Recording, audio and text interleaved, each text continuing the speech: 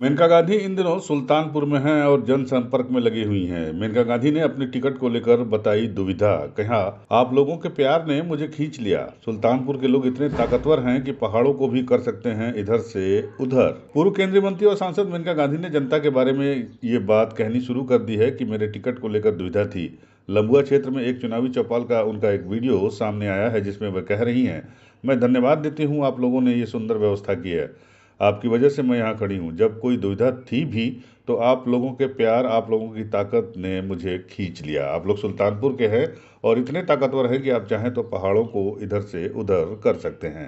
आप लोगों ने बहुत ही सुंदर व्यवस्था की है और आपकी वजह से मैं यहाँ खड़ी थी।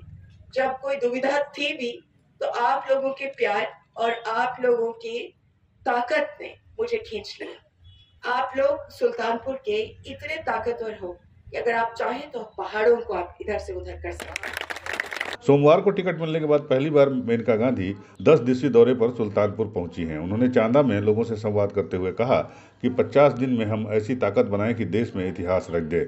मैं आपको समझा देती हूँ, इस दफ़ा अगर मैं जीती तो हमने इतिहास बना लिया होगा, क्योंकि संसद में कोई नौ बार नहीं जीता है। उन्होंने कहा कि मेरी नवी जीत सुल्तानपुर की भी इतिहास को लिख देगी।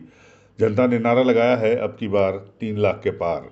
आपने मुझे ताकत दी है, इस ताकत को हम सूद समेत वापस करेंगे। उन्होंने कहा कि हमारे पास पचास दिन है और हम सभी को मिशन मोड में जुट जाने पर काम करना होगा। आपने जो मांगा, वह मैंने पूरा किया है। कोरोना काल में भी मैंने सभी के लिए अनाज और दवा का इंतज़ाम किया। मैं खुद पंद्रह दिन में आपके दुख में आती जाती रही। उन्होंने पत्रकारों से भी बातचीत की और कहा कि जो कुछ छूट गया है, उसको पूरा कर देंगे। इंसान की ख्वाहिश कभी कम नहीं होती। एक खत्म होती है तो दूसरी शुरू हो जाती है। यूपी न्यूज़ नाइन के लिए सुल्तानपुर से ब्यूरो रिपोर्ट।